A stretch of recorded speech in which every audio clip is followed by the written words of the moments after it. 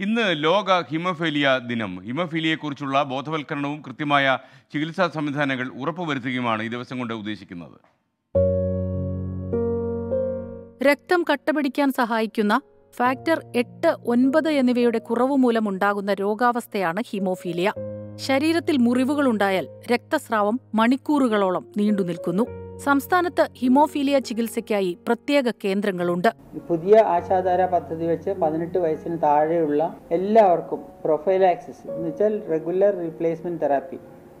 ബ്ലീഡിങ്ങിന് രക്തസ്രാവത്തിന് കാത്തു നിൽക്കാതെ ഫാക്ടർ നൽകുന്നതിനുള്ള സൗകര്യം കേരള സർക്കാർ ഒരുക്കിയിട്ടുണ്ട്. സ്ത്രീകളെ അപേക്ഷിച്ച് പുരുഷന്മാരിലാണ് ഹിമോഫീലിയ കൂടുതൽ ബാധിക്കുന്നത്. എല്ലാവർക്കും മികച്ച ചികിത്സ എന്നതാണ് ഇത്തവണത്തെ സന്ദേശം. എല്ലാ വർഷവും ഒരു പ്രത്യേക തീം എടുക്കാറുണ്ട്. ഇത്തവണത്തെ തീം ആക്സസ് ഫോർ ഓൾ എല്ലാവർക്കും പ്രാപ്യമായ ചികിത്സാ സൗകര്യങ്ങൾ ഒരുക്കുക എന്നുള്ളതാണ്. മുൻകരുതലും കൃത്യമായ ചികിത്സയും ഉറപ്പാക്കുന്നതിലൂടെ ഹിമോഫീലിയയുടെ സങ്കീർണാവസ്ഥ ഒരു പരിധിവരെ തടയാൻ കഴിയും.